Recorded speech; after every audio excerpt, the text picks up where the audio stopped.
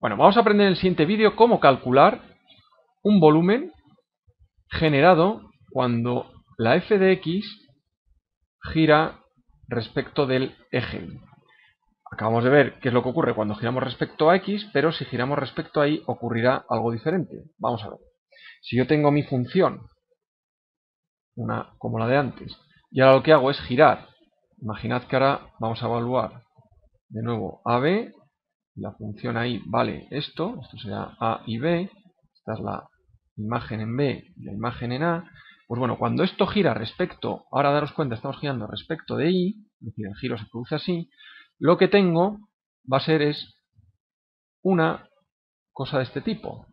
Esto gira así, vamos a ponerlo en otro color si queréis para que sea mejor, giramos así, y aquí tendré una circunferencia de este estilo, aquí otra así, y la superficie que se me genera sería algo de este estilo.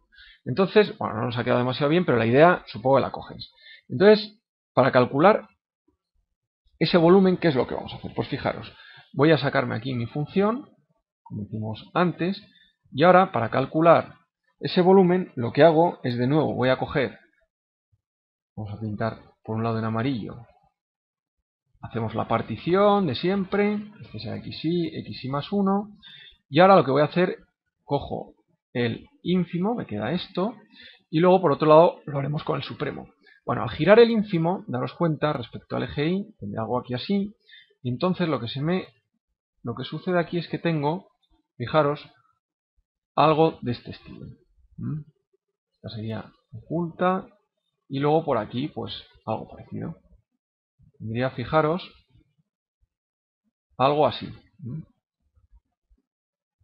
La superficie, el volumen que se me genera cuando estamos trabajando con este rectángulo que he pintado aquí en amarillo, en gordo ahora, girando, se me generará algo de este estilo. Un volumen como el que estáis viendo en la pantalla. Entonces, para calcular ese volumen, ¿qué es lo que hago? Pues para calcular el volumen puedo hacer lo siguiente. Puedo decir que bueno, esto de aquí, este ancho de aquí, ¿cuánto es? Esto es, por definición, delta xy. Es el ancho del intervalo, la partición. Entonces puedo decir que voy a coger, fijaros, lo voy a pintar en otro color, bueno, para que se vea bien, luego lo voy a borrar, ¿eh?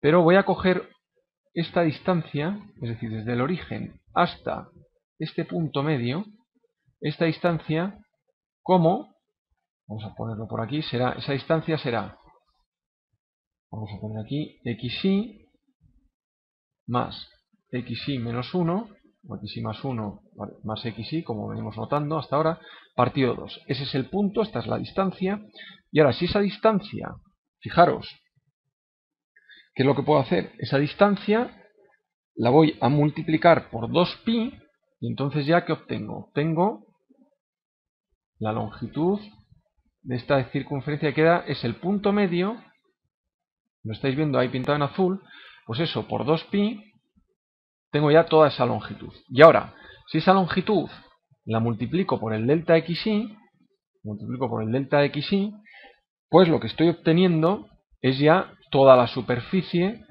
del... ¿Habéis visto? Os lo voy a pintar ya en azul, pero ya pintándolo todo. Eso que veis aquí en azul, esto es toda esta superficie. ¿Estamos de acuerdo? Hemos generado toda esa superficie ahí. Bueno, pues ahora ya, si lo multiplico, todo eso lo multiplico por el ínfimo, es decir, este punto de aquí, este valor, este sería MDI, pues obtengo el volumen de todo ese anillo cilíndrico, una corona cilíndrica si queréis. Bueno, lo mismo podría hacer con el, con el supremo. Entonces, si hago lo mismo con el supremo, me quedará xy más 1 más xy partido 2 por 2pi por delta xy y por el supremo. Entonces, ahora es lo que hemos visto muchas veces.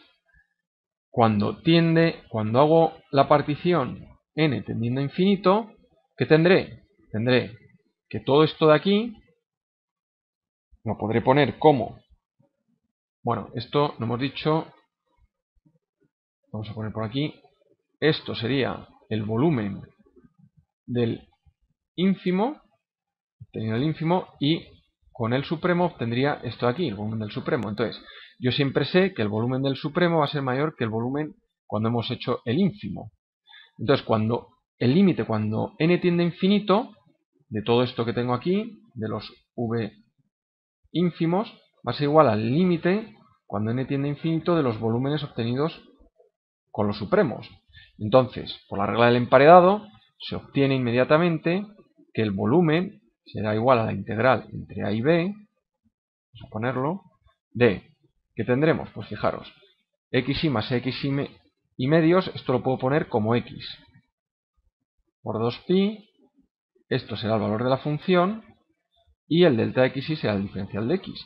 Por lo tanto, el volumen de una función que gira en torno al eje y será igual a, bueno, el 2pi lo puedo sacar fuera, 2pi, y ahora será la integral entre a y b de x por f de x diferencial de x.